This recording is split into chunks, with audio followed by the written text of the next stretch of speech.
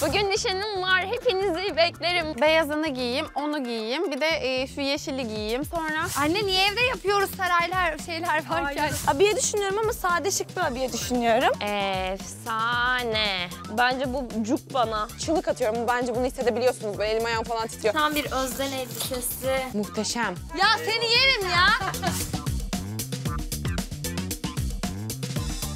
Gelinin kız kardeşinden bir tane. Ya çok beğendim Didem'i. Çok tıkandım.